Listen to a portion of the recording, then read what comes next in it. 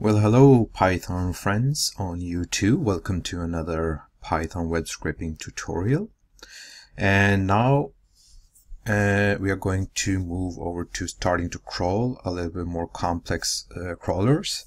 And I hope you enjoyed the intro stuff on Beautiful Soup. So let's get started.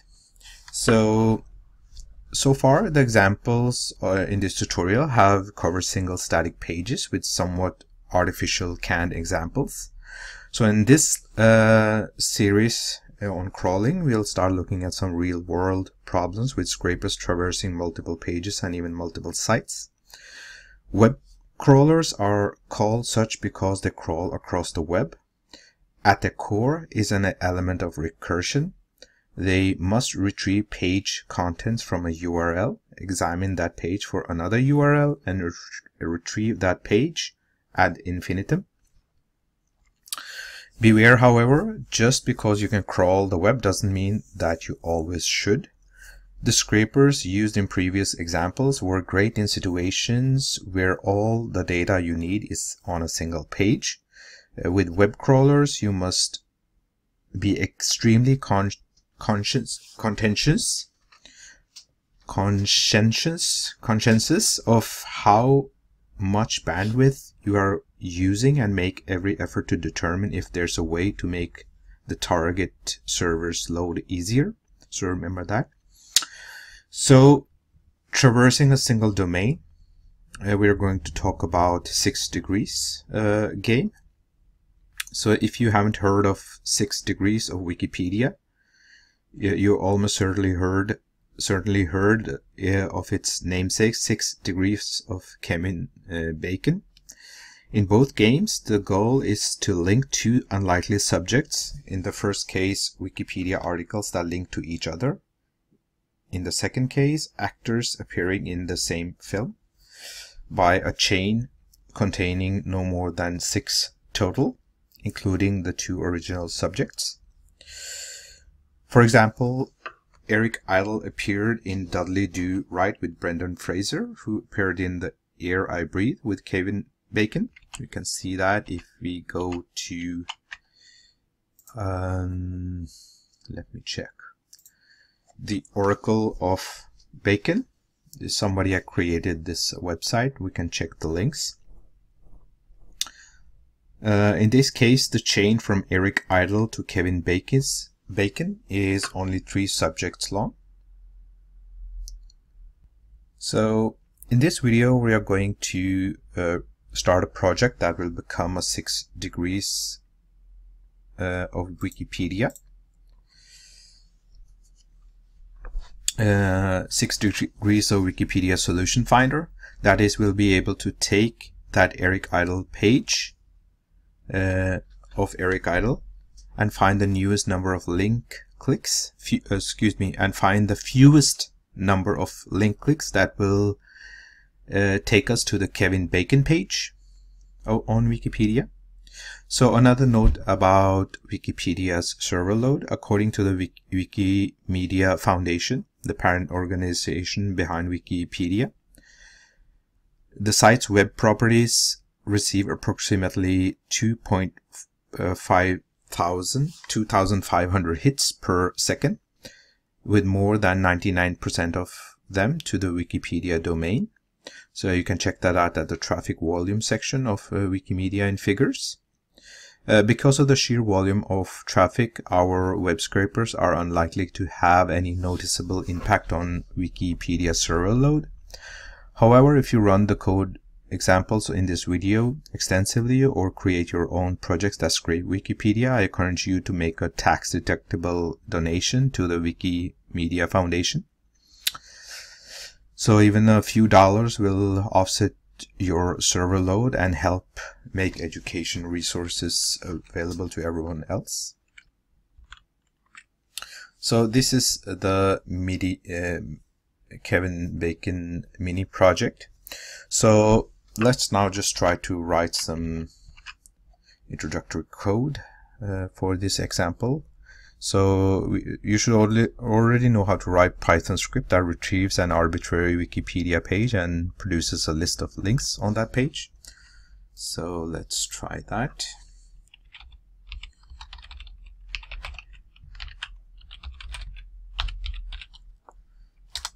Call it wherever you like.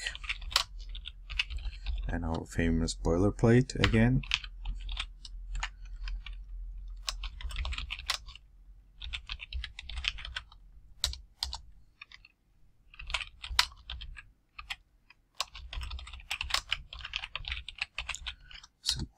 Class, import the class, and then the HTML page that we want to open. Starting page.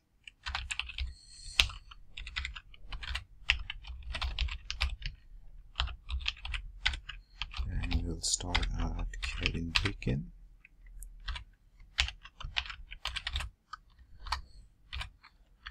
Just get that right.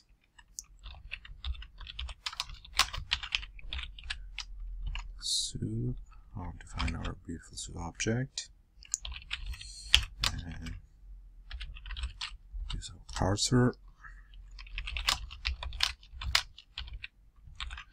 And uh, our loop, for loop, to go through our links. If it finds href in links attributes, print the link attribute has href, the content of href. There's a problem here, and it should be uh, like this.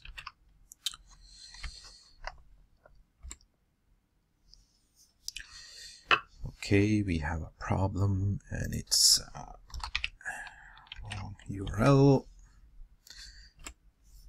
No edited videos with all the. Uh, let's see what attrs I again typos. Sorry about that. So it gives us a lot of links here. There's a lot of links that we don't need but if we look at the list of links produced we'll notice that articles that we expected here let's see if we can find Apollo. Yes we do. Apollo is here and Philadelphia is there. And if we just time Emmy Award is there. So there there are here are there are some some things here that we don't want as a, as well. We don't want for example Wikimedia Foundation stuff like these links, terms of use, private policy, or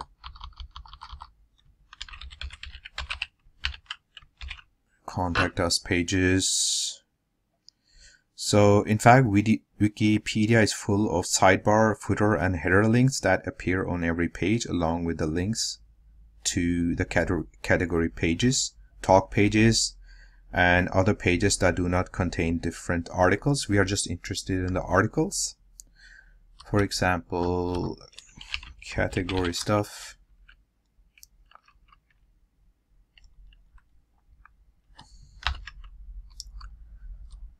Hmm.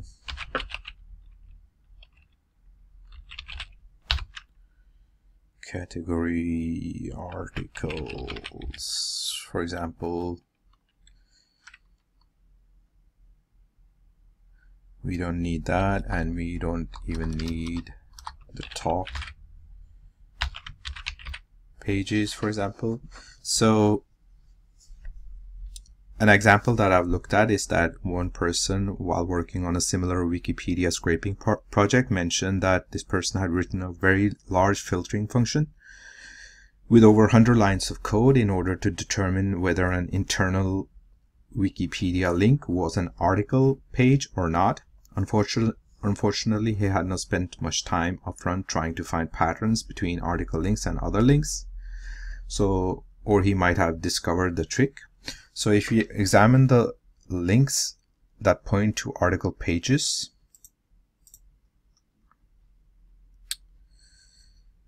they all have three things in common. They reside within the div with the ID set to body content. The URLs do not contain colons and the URLs begin with slash wiki slash. You can see that on Kevin Bacon's page.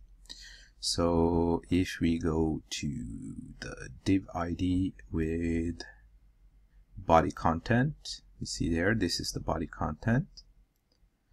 And the URLs do not have a colon that we want. The, the article pages that we want, they don't have a colon. And they start with slash wiki slash.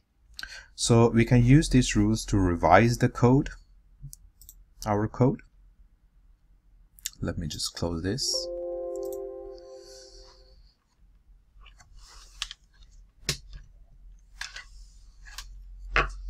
And so we can revise the code slightly to retrieve only the desired article links. So let's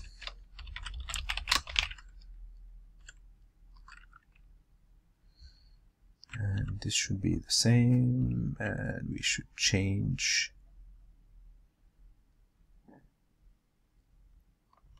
this line here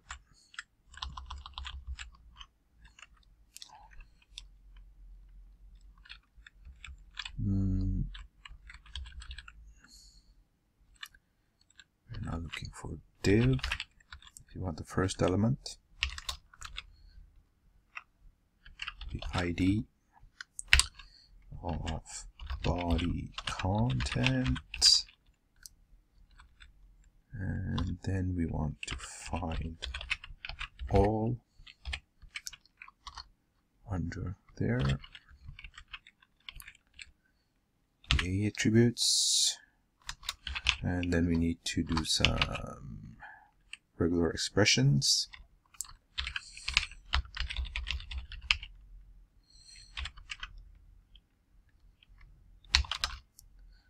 to revise the regular expression section for to understand this and we need parentheses on this one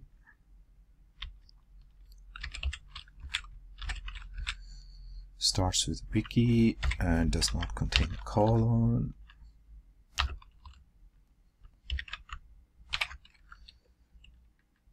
Like this, and for this we should, this should be the same.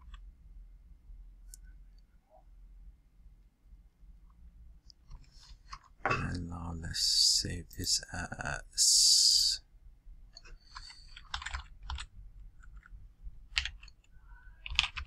find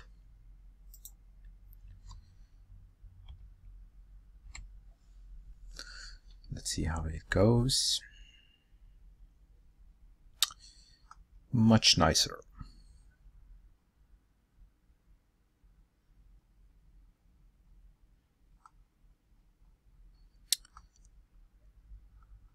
So it's gotten all the article links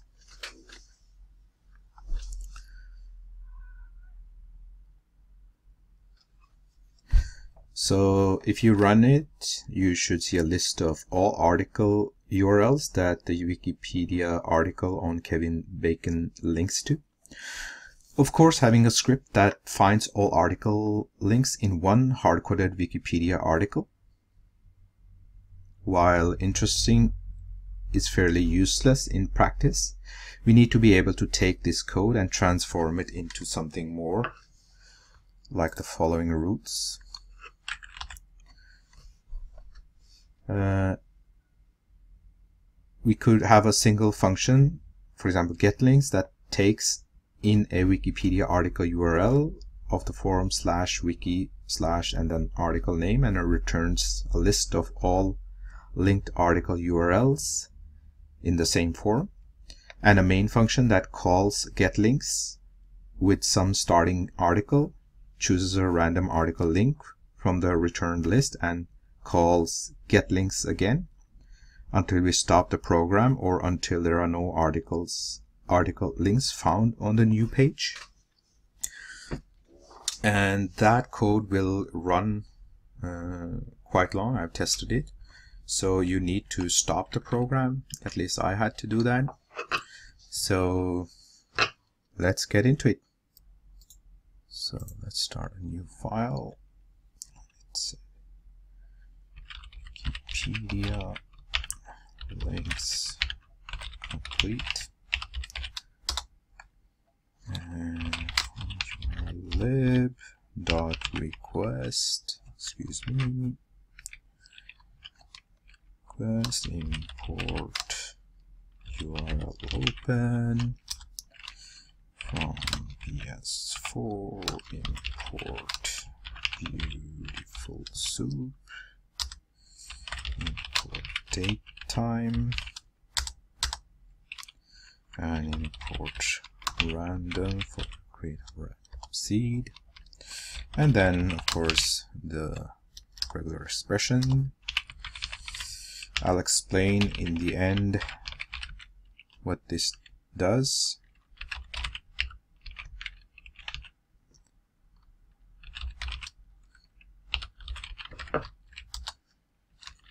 and our function.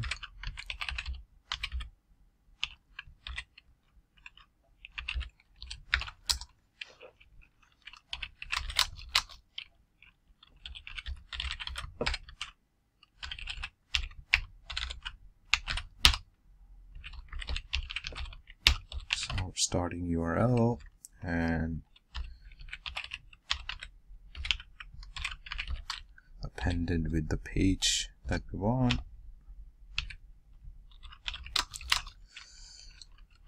and our beautiful soup object.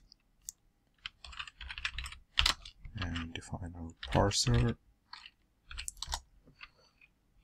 And return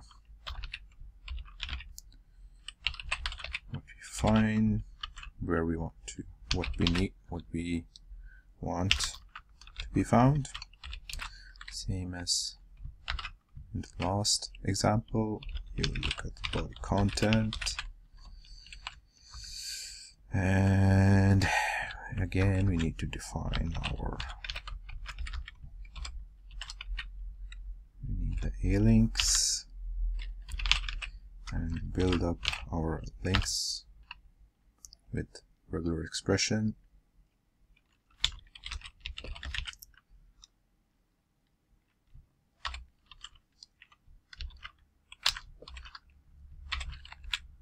and with starting with slash wiki slash. Not including the colon.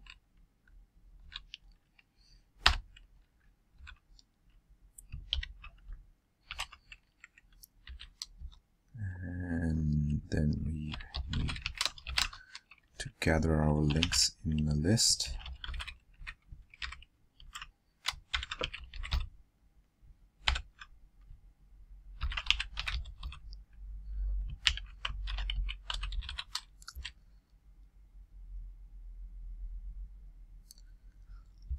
this is where we collect we collect it builds the URL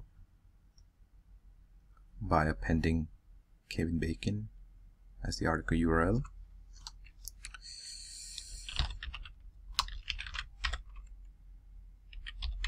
Then we have for loop.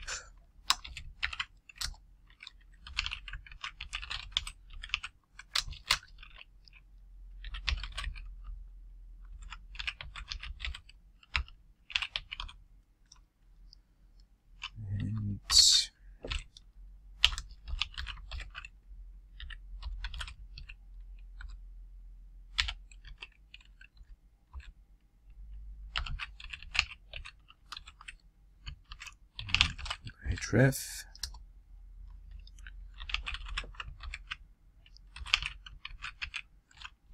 Put new article.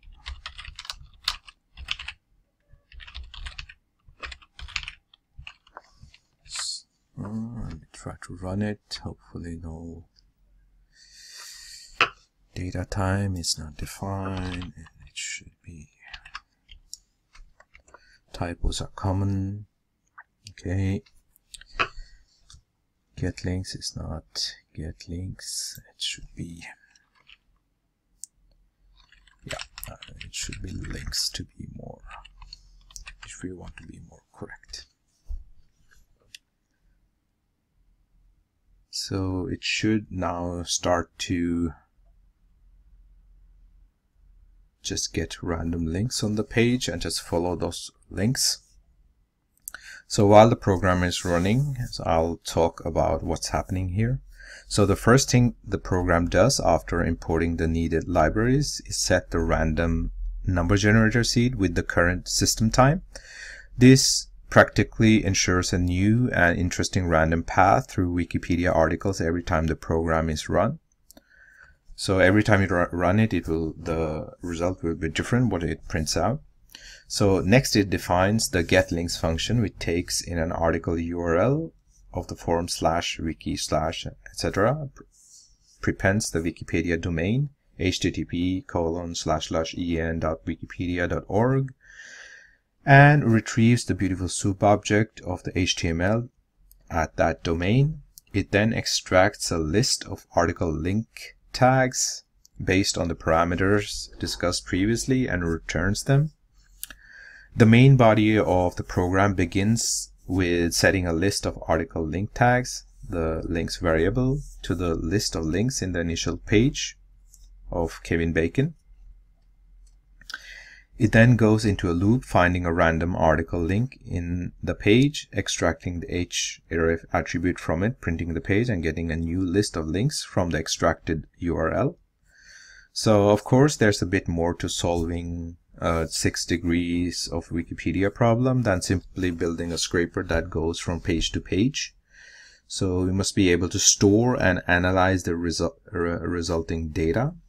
And we'll get more on the uh, continue more on the solution to this problem in in a later tutorial but this is the start so I'll stop the program otherwise it will just go running so another note on pseudo-random numbers and random seeds. So in this example, we used Python's random number generator to select an article at random on each page in order to continue a random traversal of Wikipedia. However, random numbers should be used with caution. While computers are great at calculating correct answers, they're terribly, terribly at just making things up. For this reason, random numbers can be a challenge most random number algorithms strive to produce an evenly distributed and hard to predict sequence of numbers, but a seed number is needed to give this algorithm some something to work with initially.